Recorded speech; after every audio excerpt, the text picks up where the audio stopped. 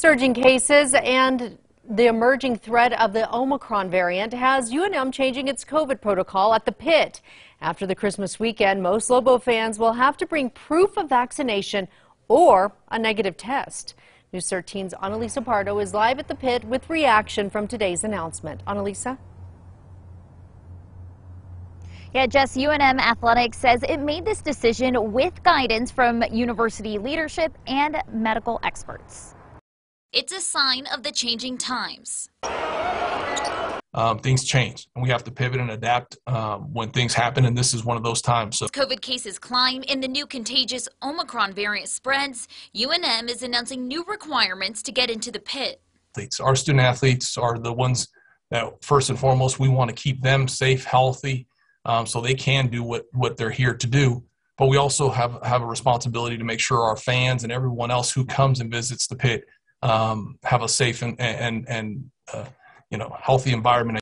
Starting December 28th, all Lobo fans 12 and older will have to bring their COVID-19 vaccination card to get into the pit. They have to be fully vaccinated, which means two shots of Pfizer or Moderna or one shot of the Johnson & Johnson, but a booster is not required.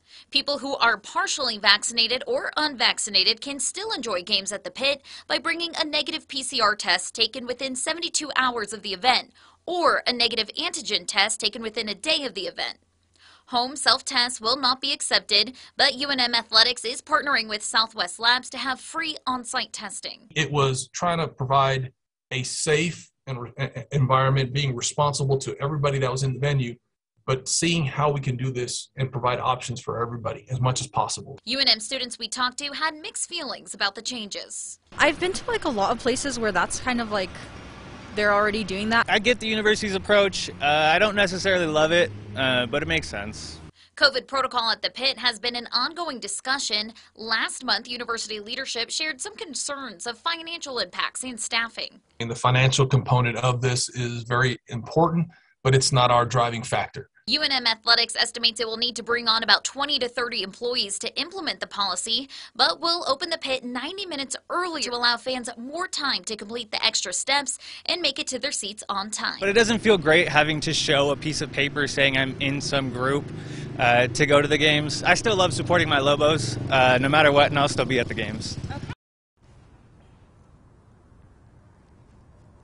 All Lobo fans still must adhere to all other state health regulations that are in place, and that includes wearing a mask while inside. The new policy at the pit will be in effect at least through the end of January. Jess? All right, thank you, Annalisa. UNM is the sixth of the 11 Mountain West teams to implement such a policy in their arenas.